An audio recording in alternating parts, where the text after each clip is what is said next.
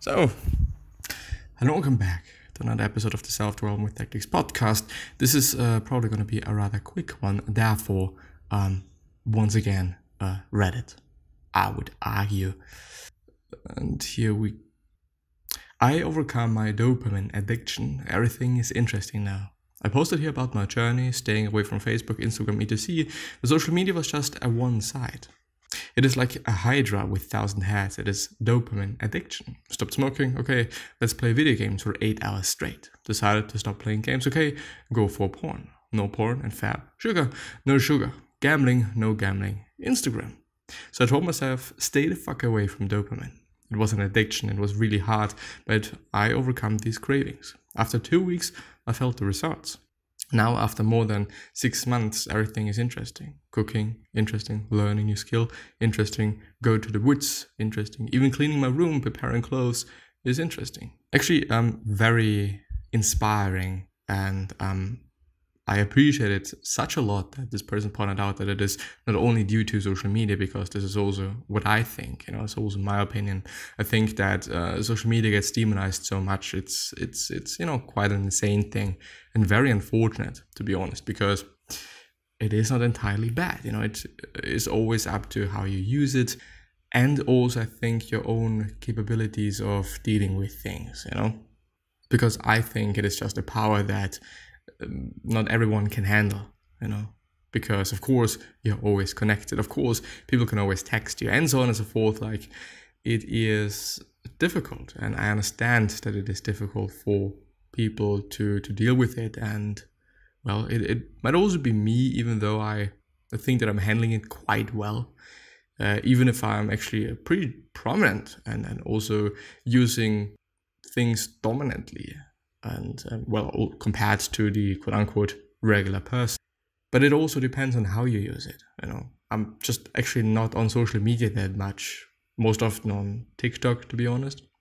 But um, not not not that much actually you know it's um rather it is the case that i just use different software and other things to, to post on these channels and to post on these sites and platforms.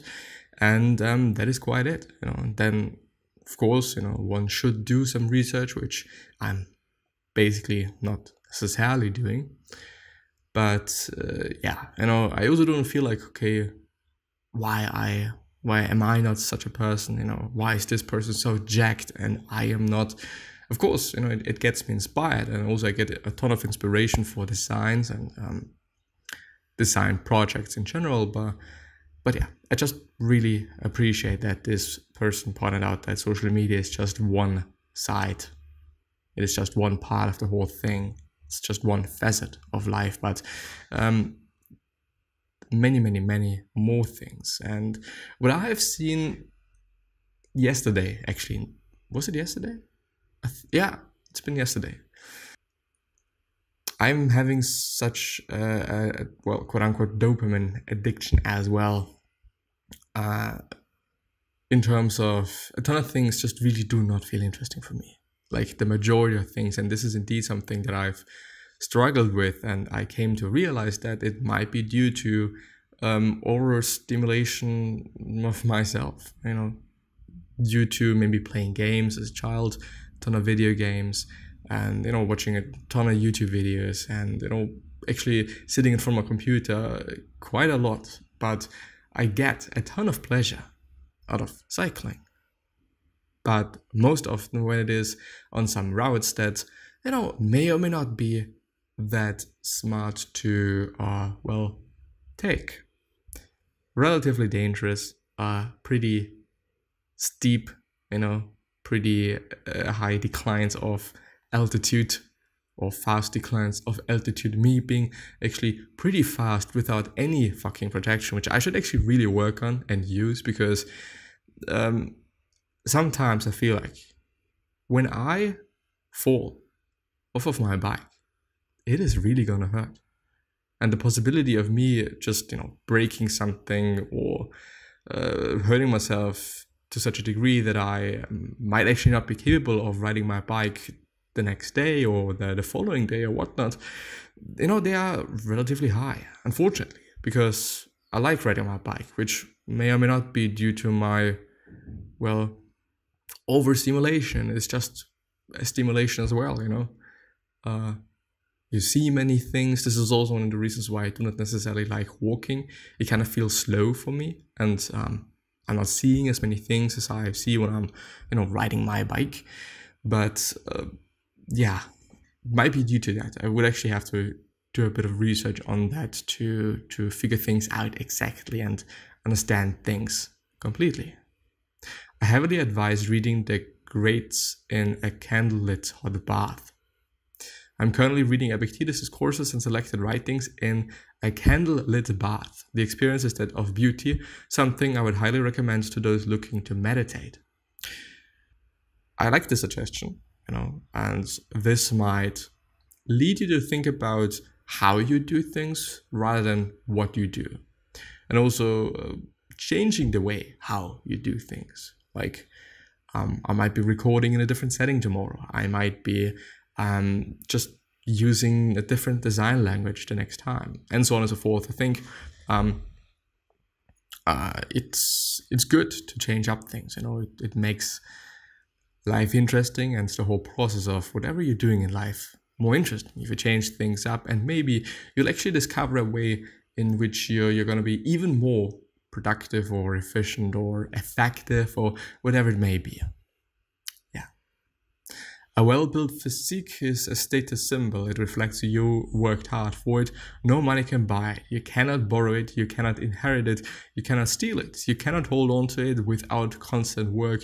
It shows discipline. It shows self-respect. It shows patience, work ethic, and passion. That is why I do what I do. And in a very, very well, this is actually Arnold Arnold Schwarzenegger, uh, a fellow Austrian. I would say so as well the problem that I'm having with the whole fitness industry and you know working out and, and looking good and you know quote unquote being strong, which you know may or may not be the truth, then I, for example, I am not really strong. I, in, in good lighting, look quite decent at this point, which I'm actually pretty happy about. But um, well, I'm not the strongest. I really am not. You know, this is definitely something that I could work on, should work on. I don't know. Like it's it's also due to genetics. I have always been relatively skinny, light, um, and yes, power is mass times time. No, mass divided by time times two, or something. No, mass times velocity uh, times two divided by time or something. I've read it uh, relatively late. This is why I know it. Know. So my point was, the whole problem that I'm having with the whole fitness industry thing is that if you only think about your physique, you are not gonna progress in any other level in fucking life. And having a great physique is, is great and well, and you know, for these reasons as well, like I can understand it. But I mean, you can be jacked, but still fucking poor, which you know I don't want to say that being poor is is, is bad and um, so on and so forth, but you know, balance, balance in life. You know, I I'm always in extremes. I like to be in extremes. Either I'm just moving as much as I can, or I'm laying in bed because I cannot do more moving. You know, physically not able to do so, which is not good, by the way. You know, because you know this is just it just shows that there is no balance in my life. And also, just in various different facets of my life, there is no balance. Really, no fucking balance. So, the thing is, um, ha- be healthy, but do not.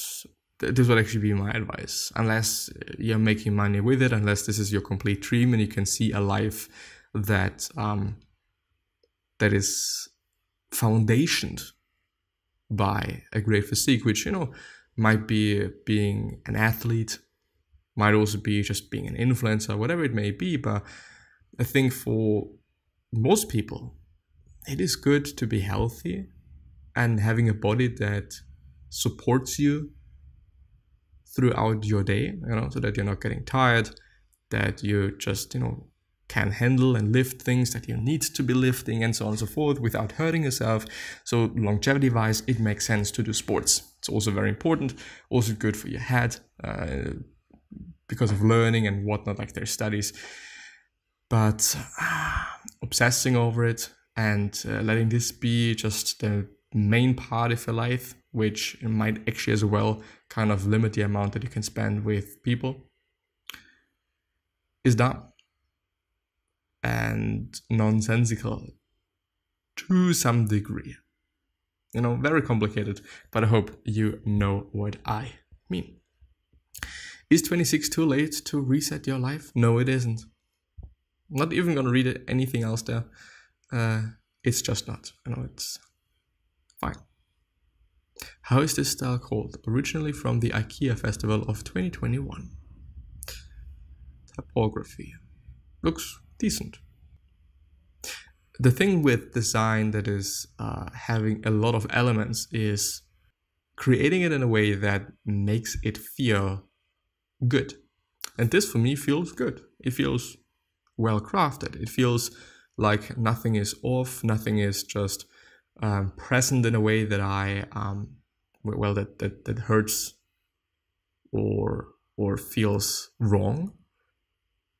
And this is, at least in my point of view, a major part of design. You know, does something feel wrong or does something feel right? And I would argue that most people can say, yes, this feels wrong or this feels right. Period. You know. Anyway, this is it. I am making my first short film. Hello, all. I have been battling depression and just a high school graduate as I, I always go through this loop of overthinking and end up doing nothing. Um, yes, just you know, make a short film. Good idea. I had too much to drink last night and punched my girlfriend fucked up situation. I was nothing but screaming and throwing things all night. I haven't had an episode like this in a year. She said something that completely got me, so then I punched her in the arm. I don't like being like this. What can I do to make sure this doesn't happen? How do I talk to her after last night? Um, I might be doing an episode on that as well, which is very personal. I do have, also genetically wise, but I do have a past of, um, well, violence, quite, and violence against people that I loved, loved from the bottom of my heart. And this is very problematic. I would say that um, talking to a therapist is always going to be great because this person can show you what the root cause of your actions are. Um, this is also one of the reasons why I have understood and know that I'm always living in extremes because of a therapist.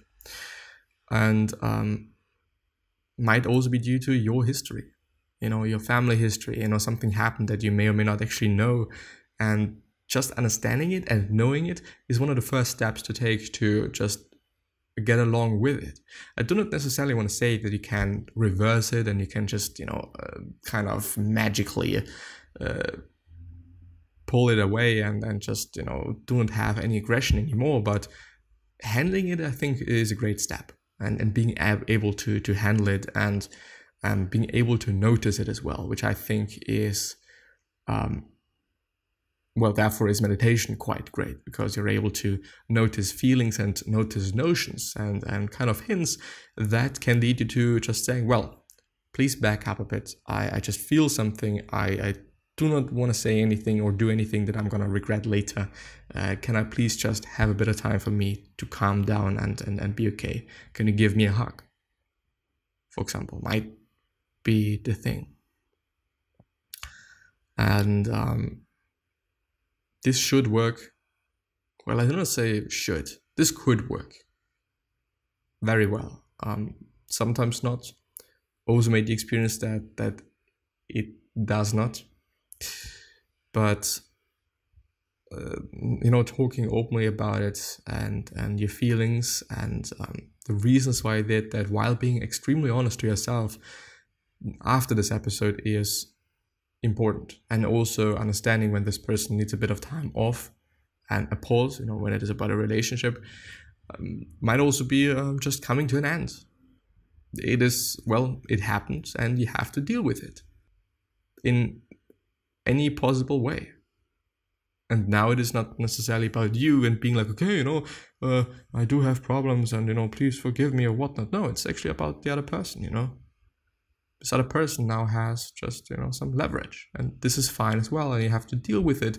And might also be about trust, you know, being able to trust a person that hit you. Like, it's a very difficult situation. And, um, one needs to really work on it and i as well really need to uh, work on it as well i've gotten much better but i think being able to hand things situations very difficult situations in calm ways this is incredible and this is an incredible skill that is always going to be great especially for people like me that tends to be quite aggressive and tends to be quite um, just explosive as well Anyway, um, one last thing, I guess.